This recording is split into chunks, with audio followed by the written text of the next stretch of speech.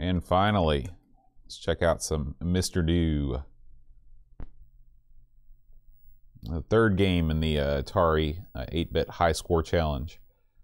Um, let's make sure that everything looks okay. Yep. Press S to change background. That's kind of neat. So everyone knows that Mr. Do is a title that Aaron and I both share a mutual admiration for. Um,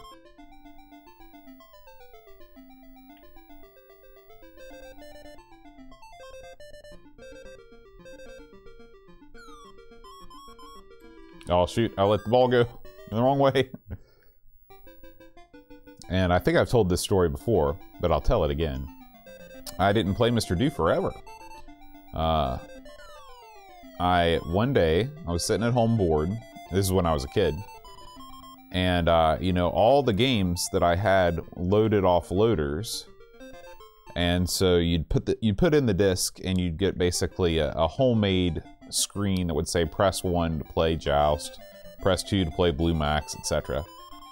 And um, and and so that's that's what I did. But then when I got older and I started figuring out how to launch into DOS, I started exploring the contents of these uh, these disks more. And um, and lo and behold, uh, Mr. Do was uh, hidden on one of these disks. It was Mr. Do.exe, and I was like, well, what's that? And then I launched it, and I was like, holy cow! This is like one of the greatest gaming discoveries of my life. It was so much fun. And ever since then, I'm really causing some slowdown here. There's a lot of a lot of guys on screen.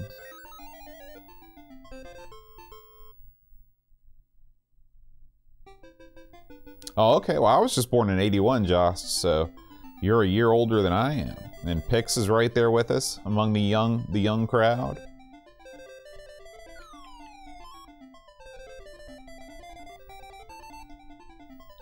Oh boy. There's a way that you can do this where you, it's like you position the apple in such a way that it, it kills a ton of enemies all the time.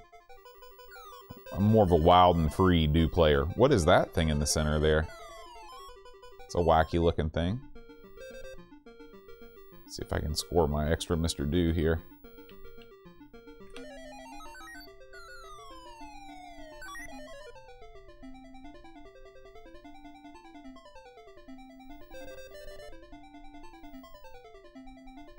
Mm.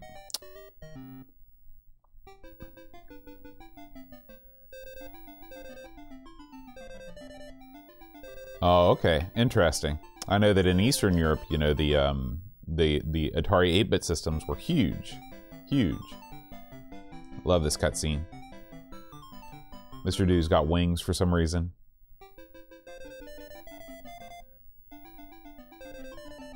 Yeah, it could be by the time that you were sort of around and, and cognizant of the scene, the Atari 8-bit had gone by the wayside. If it wasn't for my dad picking one of these up secondhand, uh, in like 80, 86 probably, um, then I would have never known about the Ataris because none of my kid, none of my friends had Atari computers. It was totally foreign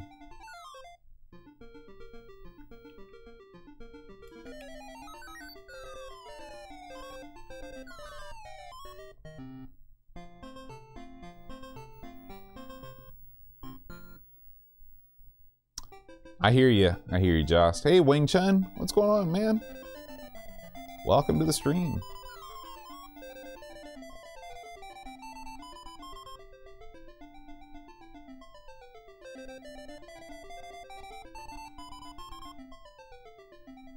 Oh! This gave away a life there. Oh yeah, Mr. Do's great. This is a great port, too. Thanks for the follow, DMX87.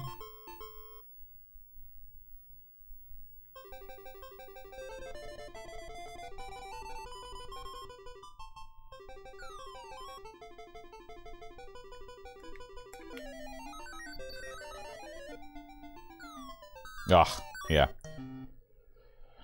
I really don't have a strategy when it comes to this game. It's just chaos.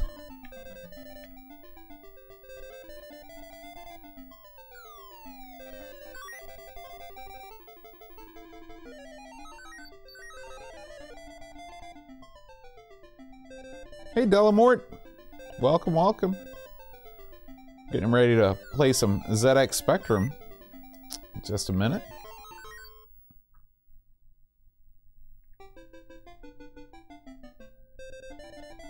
What are you up to today, Delamort? Hope you, you've all enjoyed your Saturday.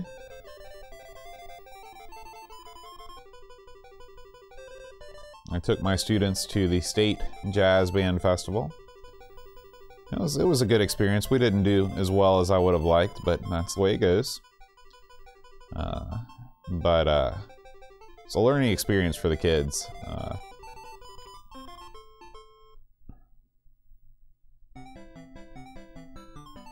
Mega ST4. I don't even know what that means, Delamort. Is that one of the late model uh, STs?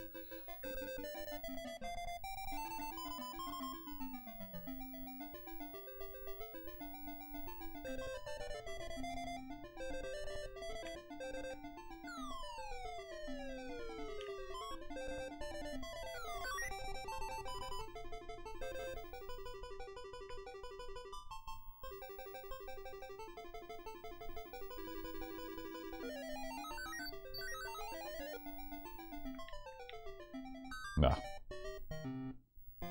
All right, so it looks like 25,700 is going to be my Do score.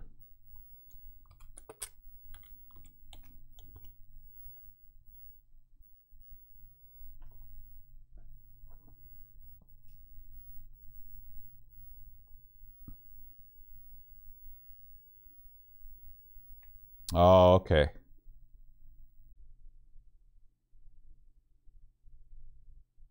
Tim Ferriss. That is the that is the four hour work week guy DMX eighty seven. I do not